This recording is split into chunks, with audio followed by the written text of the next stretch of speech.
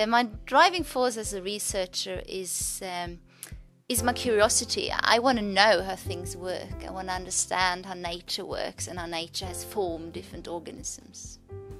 The most exciting part about being a researcher is that I, I, get to work in a team with brilliant people, and we all have the same goal to try to understand how something that we see actually works. What's the mechanism behind what we see? And then we come together with different uh, knowledge and we try to solve that question. The aim with my research is to understand how insects control their flight. So, how can they actually avoid obstacles if they uh, encounter them while flying? And we're looking mostly at the visual aspect. So, we try to understand how they use their eyes in order to fly safely. Well, we could technically use any insect because the beauty with the insects is that they have um, a small brain, so they can't take they can't um, take care of all the information that is around them. So they need to filter the world and only extract the very very important information for what they want to do. And bumblebees are an excellent animal to work with in the lab.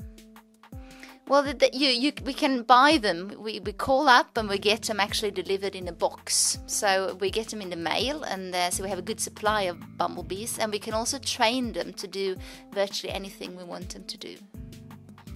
Well, the usefulness is both understanding how insects have evolved in order to be able to fly, but also so that we can use uh, what they have evolved to be able to do for our flying vehicles. For example, small uh, robots that can fly on their own.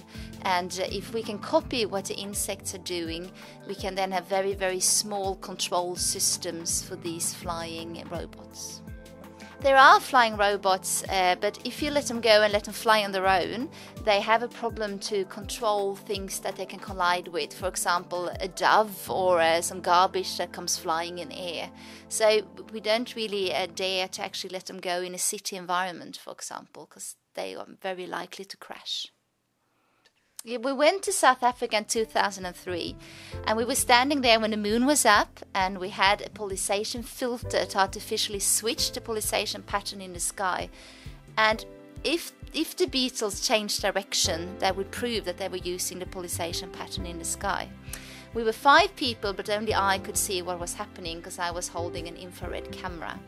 So I saw the beetle coming in under the filter and I saw it turning. So I said, "It turns, it turns," and it was one of those great moments where we actually we came with a question and we found an answer.